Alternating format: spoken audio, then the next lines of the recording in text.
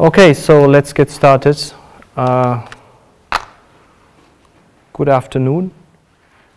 What we are going to do today is we are going to look at um, lateral stability, okay? Because we looked at longitudinal stability. Can you hear me? Fine, okay. We looked at lateral stability and this week I'm going to start, uh, we looked at longitudinal stability. This week I'm going to start lateral stability, okay? So, um, lateral stability of a fixed wing aircraft. And when I say uh, lateral stability, I mean static stability, right? Is it stable, unstable, that kind of thing. We looked at dynamic stability, but here we are looking really at the, uh, the static stability, okay? Um, the first one we're going to look at, uh, we're going to look at yaw stability. Yaw stability. Okay, so that's, that's kind of the first thing we're going to look at. It's also known as weathercock stability. What we are trying to do in yaw stability with the aircraft is that we want the aircraft to naturally align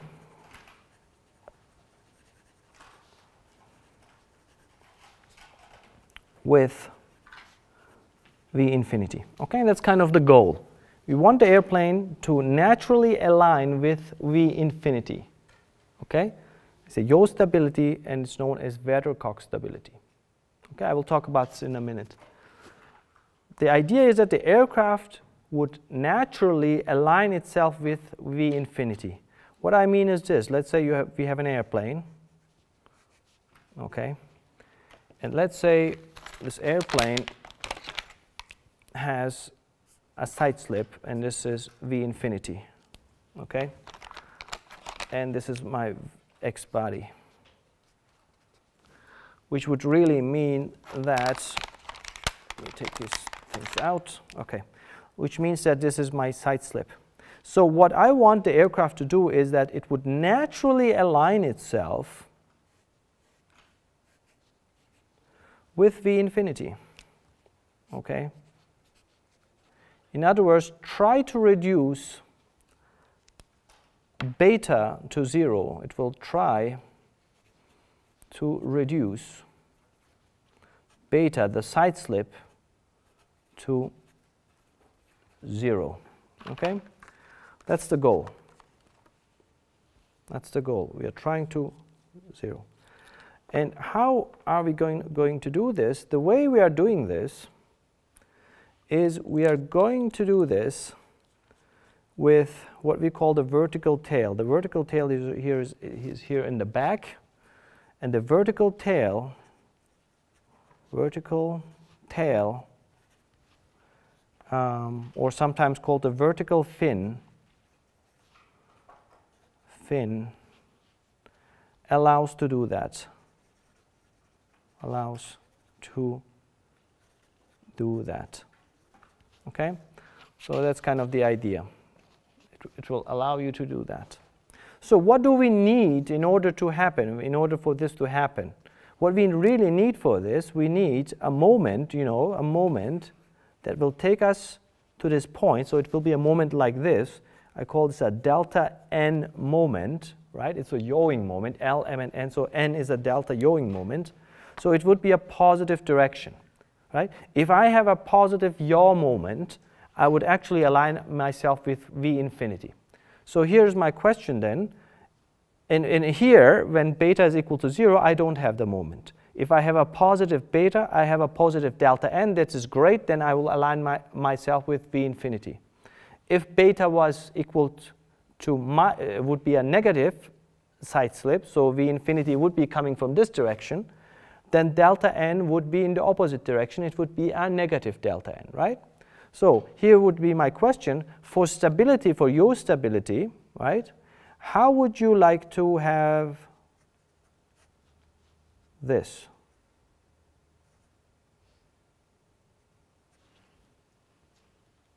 How would you like to see that? Or no, let me not put it this way, it's actually not correct. Um, it's, it's actually the opposite, of course. Delta Cn delta beta, okay? So that would be equal to um, uh, Cn beta, right? The partial derivative. Would you expect this to be a positive number or a negative number for static stability? It should be positive, right? It should be positive for static stability. It's really good that we can make these these comments now or uh, can, can, can see this, it's very easy. It has to be positive because for a positive beta, we want a positive n. Only then I will go towards V infinity, and this is what I need for stability. Okay? So that's kind of what we are trying to do here. All right. So how is this e even possible? How is this happening? Now the way this is happening is actually quite simple. Let's say I have an airplane like that. Okay. And let's say at the back I have this vertical fin. And let's say this is my CG. Okay? wonder if I can mix it a little better. All right. And this is the CG. And let's say I have uh,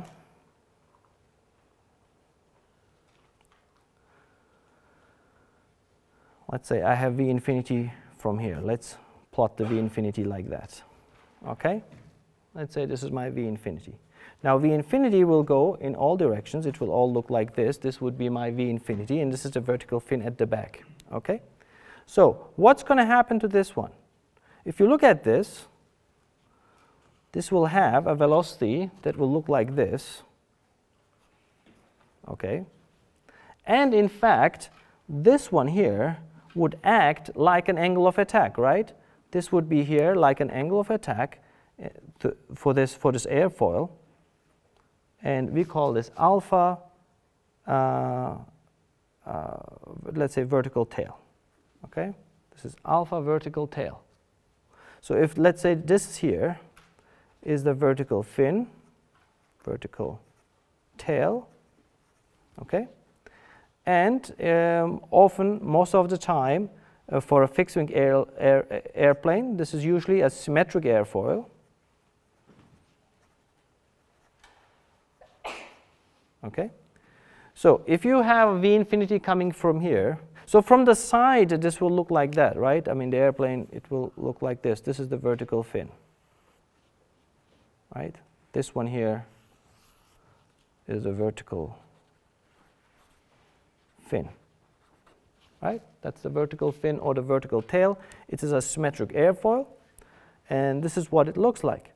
Now, if this vertical fin here has a V infinity coming from here and it has an angle of attack like that, which way would be the lift force? Or which way would be the drag and the lift?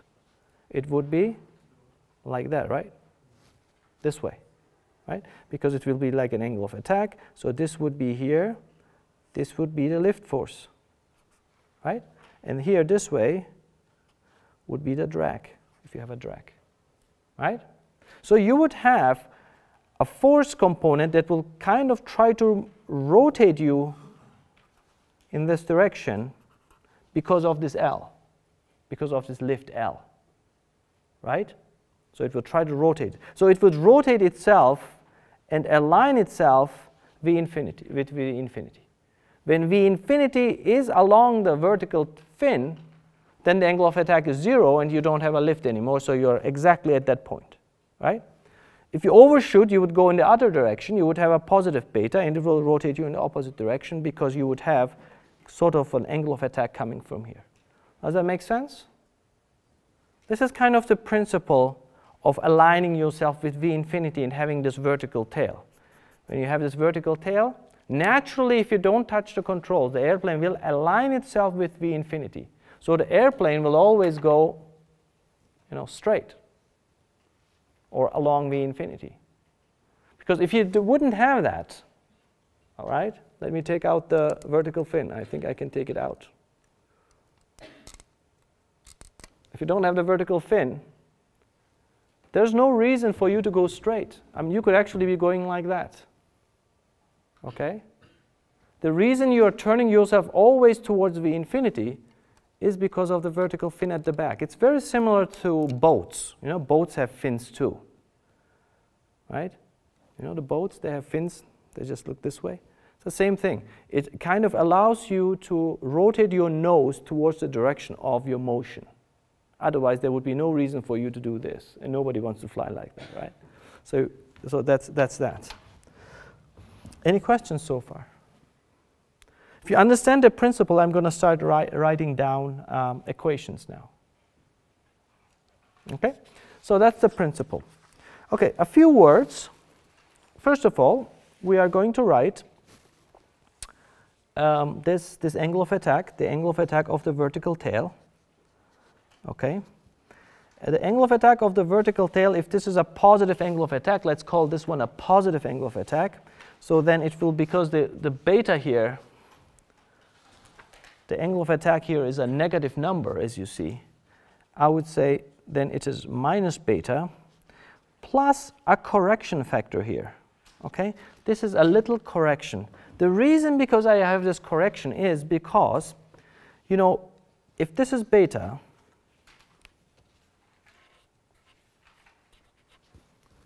basically the side slip of the aircraft, and let's say this is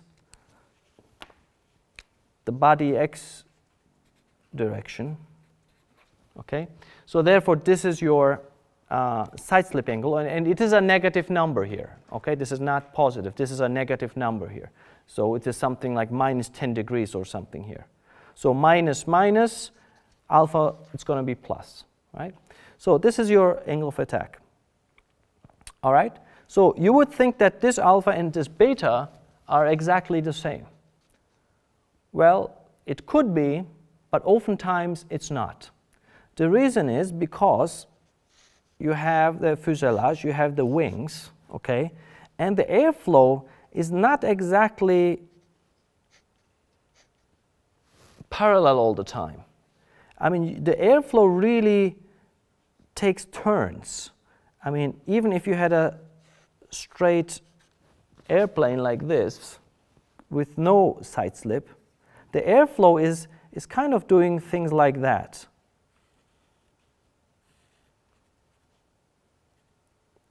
Okay? So it's kind of rotating around the body. So this is the effect of the wing and the fuselage and everything else. Wing, fuselage, etc.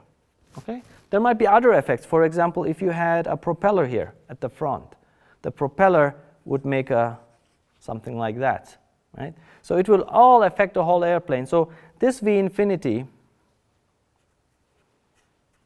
and this beta are not exactly the same. So we have some sort of a correction factor, let's think of it, okay? Remember we had a, a downwash, right, for the wing in, in the longitudinal direction for the vertical, for the horizontal tail. So it's kind of a similar thing, okay? All right. So what would be the lift over here? So we are trying to calculate this lift now, all right? So in a non-dimensional sense, the lift of the vertical tail would be equal to the lift curve slope minus beta plus this, okay? And this being the lift curve slope, okay? This is the lift curve slope. Lift curve slope. And because it's a symmetric airfoil, it will probably look like this. This is CL, this is alpha, and this is your AVT, basically your lift curve slope. Okay? All right. So non-dimensionalize uh, this. If you dimensionalize CL, the lift that the vertical tail will see will be CL VT times rho divided by 2 velocity of the vertical tail that the vertical tail will see times the surface reference surface area of the vertical tail. And note that the vertical tail velocity is not necessarily exactly equal to v infinity. Okay? It might change a little bit. Right? I mean, ideally it should be the same, but it doesn't have to be. All right? So then let's calculate then the moment because of this lift, right? I, I will try to calculate now this extra moment that happens because of this lift. In fact, let's call this delta NVT. So that will be a positive lift, a positive lift, if I call this a positive alpha, if this is a positive lift, then delta n, is it a negative or a positive? This is a negative or a positive a delta n? It's a negative one, right? So it will be negative CLVT times rho divided by 2 VT times SVT times LVT. And LVT is that distance from the CG to the aerodynamic center of the vertical fin, and we call it LVT. Sorry, I messed it up over here. Looks now like a minus. Let me rewrite this.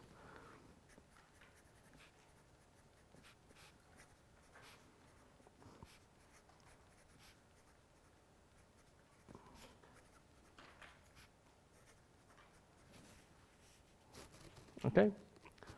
And this is the moment arm towards the CG. Okay.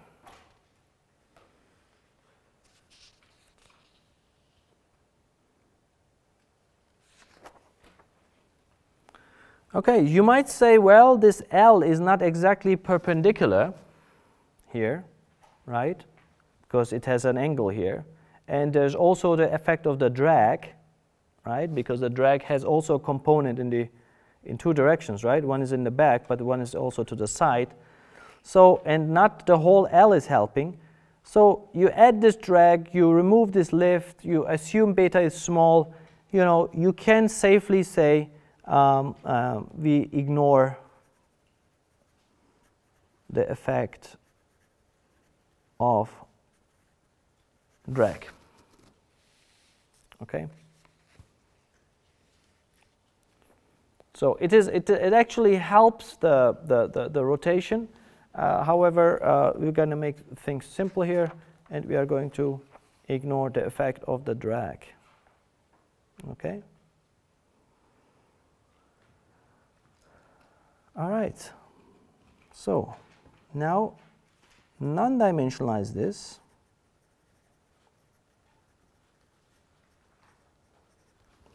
And we are going to non-dimensionalize this with the typical thing that we always do with, with um, the, uh, let me write it down, using V infinity and the reference area, the wing reference area. And that will be equal to uh, minus CLVT, of course, times this thing, rho divided by 2, right, times v v t squared times svt times lvt. And this is going to be non-dimensionalized. CNVT is equal to, let's make it like that, is equal to 1 over 2 rho v infinity square right? That's how we are going to times b, because this is the yawing moment. Remember, and b being the, what is b? The span, right? The span. Okay, so this is gone, this is gone. What do I have? CNVT. Any questions?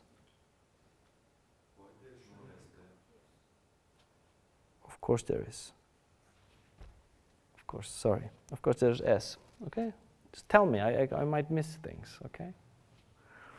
All right, so mine is equal to minus L CLVT times SVT times LVT divided by S times B times VT square times V, vertical tail of course, times V infinity square.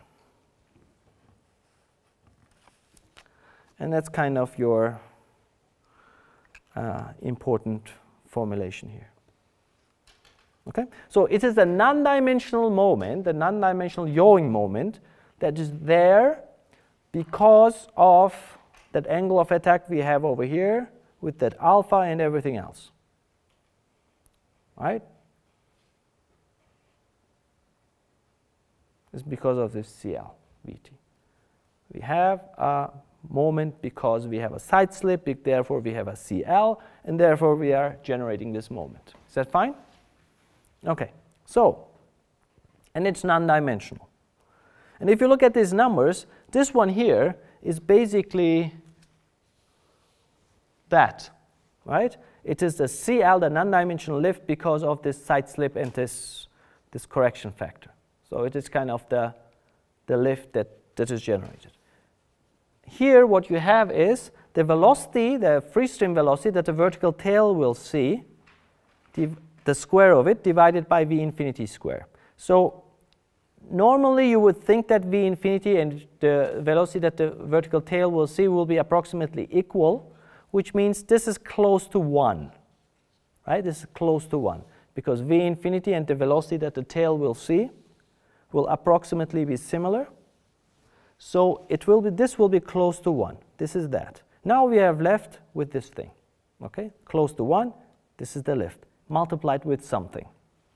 And this is an important number in aircraft design, very similar to the horizontal tail. This is known as the vertical tail volume ratio.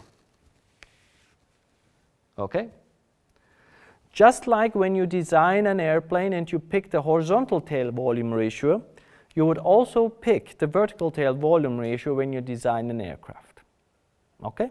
And if you look at what this ratio really is, and we, we, we, we show it with VV, okay? Vertical tail volume ratio. And what this really is, let me try to get up. What this really is, is again a comparison between how big your vertical tail is, multiplied how big the moment arm is, divided by how big your airplane is. This is the reference area of your wing or your airplane, whatever your reference area is. It de defines usually how big your airplane is, multiplied with the wingspan, how big your wingspan is. So you're kind of comparing the moment arm and the area of your tail with how big your airplane is. And this number for fixed wing airplanes is approximately, not, I, I don't want to say constant, but they're similar from airplane to airplane. All right? So if you're choosing an airplane, if, you, if you are designing an airplane, I'm sorry, if you design an airplane, you choose a vertical tail volume ratio, and usually you first calculate how big your wing must be, right, in order to keep that gross weight up in the air. And then you look at how much um, span you want to put in. Once you have that, that multiplication must be constant because we know for a good airplane what this number approximately should be. Does that make sense? So let's say you have a given airplane, whatever that airplane is, either you have a big surface or you have a big moment arm. So what, you, what, what, what it will look like is, and you might be quite familiar when I plot this, you might have seen airplanes like that. If you have, okay, if you have a short airplane, you might have seen that you have a big vertical tail. Okay, short moment arm, big area.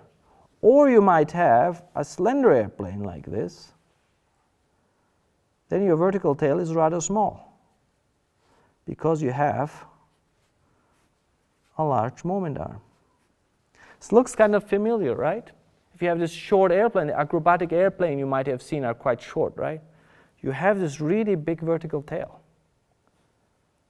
And for these long ones, you have the small one. But you, let's say this is the area, this is area 1, and this is area 2. I'm pretty sure compared with the wings, the tail volume ratios are approximately similar. Okay? Because the reason is, look at this now. Let's go back to the very beginning of the class, right? Now, how much moment do I need in order to, for this airplane to bring it back? If the vertical tail is too big, then you will, go, you will have a really big moment here, and the rotation will be very fast, which might probably overshoot, come back, and maybe result in oscillations. Right? If this delta n is too big, you might actually overshoot and then come back and all that. Or if, the, if this is too small, then this delta n would be small and you're really rotating very slowly, which might not be good enough. So if you want to have a good airplane, then the vo tail volume ratio is something that we already know what is good for airplanes. So you would choose a vertical tail volume ratio and this would be that. Okay? Any questions?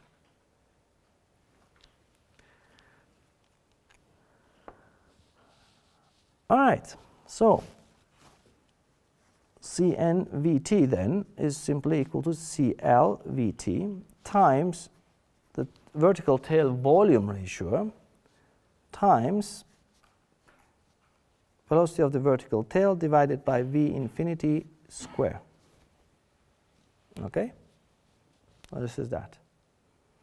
All right, so what we really need now is I want to find Cn of the vertical tail divided by delta beta. And at the beginning we said this must be a positive number, right? For stability we said this must be a positive number. Now let's see what do we need to do in order to have it a positive number. So, okay, who's a function here of beta? It's really only this one, right? That's a function of beta. Delta del CLVT divided by del beta, okay, times V, V times Vf V infinity square. Okay? And we definitely want this to be a positive number in order to have a stable airplane. Now let's check if this is a positive number.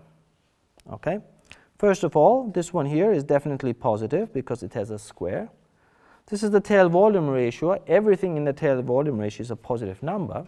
So if you want this to be positive, I hope this one here is negative, and let's see if, it's, if that is actually the case. Okay? If that is actually the case. Is that a positive number or a negative number? The way we can look at this is we can look at our picture here again. So, for a negative beta, right? We have a positive L, and as the beta becomes more negative, this L will increase, the lift will increase. So it will be a negative number because of this, of this beta. And if you take the beta in the opposite direction, it would be a positive number. If it's a positive, the lift will be in the negative direction according to this sign convention. This would be in a negative direction. It would still be negative. Okay? You understand that? Negative beta, positive lift. Okay? Think of it like that. Negative beta, positive lift. So it will be negative. If you can remember, you might want to think of this. You're looking from the top. This is the y body direction. Right? It's in this direction. So the lift is in the y body direction. You might want to think of that like this. So is it positive lift? Yes. For a negative beta, yes. Negative beta, positive lift, so it will make this one a negative number. So negative, and you have a negative over here. So the whole thing will be positive. You'll see negative, negative, positive, positive, it will be a positive number. So yes, it will make it positive. I mean, we kind of knew that from the beginning. I mean, it makes a lot of sense from this picture. If you have V infinity over here, this will look like an angle of attack. You will have a lift, so you'll have the moment that will just rotate this airplane towards beta. Okay? Kind of makes sense. But over here, we saw it from the equations as well. Okay? All right. Now, any questions so far? All right. So here's the other, here's the next piece of this, of course. You know, every airplane, or most airplanes, they have a vertical fin, but they also have something called a control surface over here. Okay? And we call this control surface the rudder. Okay? This is the rudder. So if you look from the top, it might look like this. Airfoil, symmetric.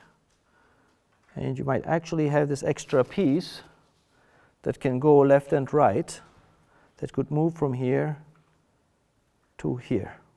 Okay? So instead of having this, you would have something like that. Okay, so you can rotate it. And if you rotate it this way, this one we will call a positive del R. Del R is now the pilot control. Okay? Del R is the rudder control. And it's controlled by the pilot. Okay, it's the rudder control. Sometimes it might so happen that the whole, no, that doesn't really happen too much, but it could be so happening that the whole rudder, I mean, the whole vertical fin is like a rudder, so you could actually rotate the whole airfoil left and right okay, this would still be a del R. But this is typically the case you will see in airplanes with a rudder on the back, so it would go left and right. So if you have a positive delta R, uh, you would uh, generate extra lift, okay? So why would you need that? Okay, and this is what we call yaw control. Let's put it out, out here. Yaw control. And this is the rudder. So why would you need yaw control? Why would you need a rudder? Well, first of all, we have established that if you have a vertical tail, the aircraft will always align itself with V infinity. Now, there might be cases where you don't want to align yourself with V infinity. Okay? And that's when I need the rudder, for instance. Because without the rudder, I'm always pointing myself towards V infinity. Is that something you always want? Well, there might be cases where you don't want it. Can you think of a case where you don't want to align yourself with V infinity? Landing. We talked about that, right? Landing. Let's say if you have a side velocity, right? If you have a side velocity and you're going forward, that means V infinity is really coming from this way, from this direction. So if you don't touch anything, if there's a side wind and you're going forward, if you don't touch anything, the, the airplane will align itself with V infinity. If you don't touch anything, it will do it automatically. So the airplane will start flying like that, remember? And you might think there's a, there's a V infinity, but there's none. In fact, we don't touch anything, we align ourselves with V infinity anyway. So you fly like that. Is there a side slip? No. Do you want to land? if you want to land, you don't, you can't really land like this, right? Because of the landing gear. The landing gear is pointing this way, so you can't really, you don't want to do this. What do you want to do? Just before you land, you want to turn. How do you turn? You need the rudder. Because at this very moment, you have side slip now. Okay, at this very moment, you have side slip when you're landing.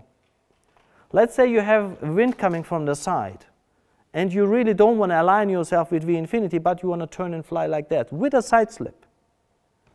There you actually need to have the rudder input in order to align yourself with the runway and fly with side slip. Okay, so there might be cases where the airplane indeed wants to fly with a side slip. If you don't have the rudder control, the airplane cannot. the airplane will just align itself with V infinity because of that thing. Okay? So that's one thing. Right? No, that's one good example. One good example is that we need to align ourselves, uh, we need to fly with side slip. Fly with side slip. That's a good reason why we want to have this yaw control, the rudder. Another example, another reason we might need yaw control is the one engine out case.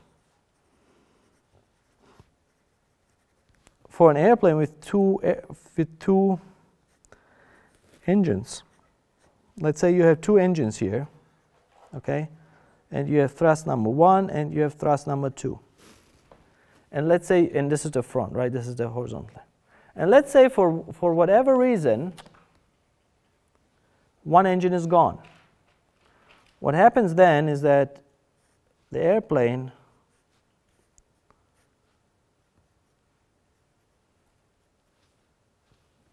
might be doing this.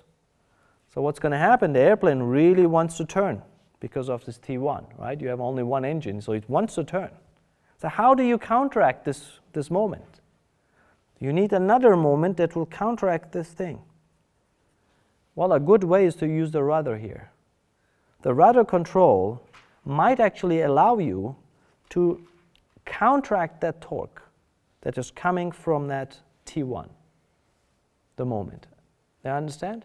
So you would actually, how would you, if you want to fly like that, if you want to fly like this with a V infinity, which way should be the, the, the, the vertical tail? Like this or like that? It should be like this, right? Will be like that? So I create a moment in this direction. Let me plot it a little bigger so we can all talk about this. Because it's a nice exercise to think about the sign conventions and all. Let's say I have an airplane like that. Let's say I have only one engine T1. And I would like to fly like this. This is V infinity and this is my CG.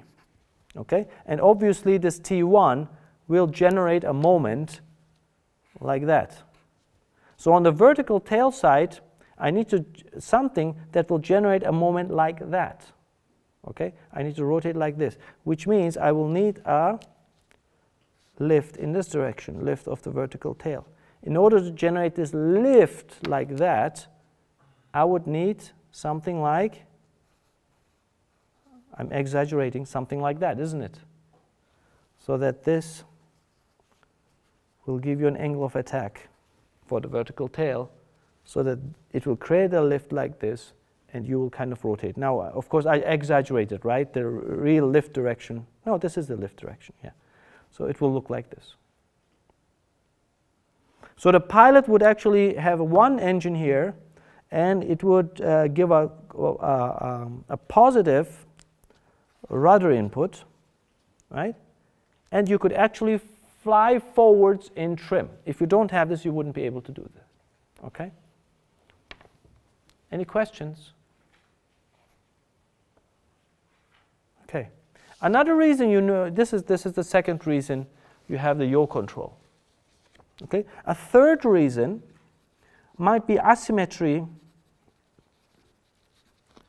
on aircraft. You know, the aircraft, we always assume it's perfectly symmetric, but it might not be. Okay? So there might be something on one side of the wing that is causing you to give you a yaw moment. You know, assume that there's something, there's some roughness on this, on this wing, and you constantly keep more drag on one wing, and you keep rotating. The way to counteract this is really with the rudder. There's no other way. Or you can adjust the thrust levels. You can make one thrust larger than the other one. That's another thing, of course, you can do. But typically, you would want to do this with the rudder. So there are cases where you don't want to align yourself with V infinity, or you actually need a yawing moment. So the rudder will give you that. Is that good? Okay. So what time do we have? I don't have a watch right now.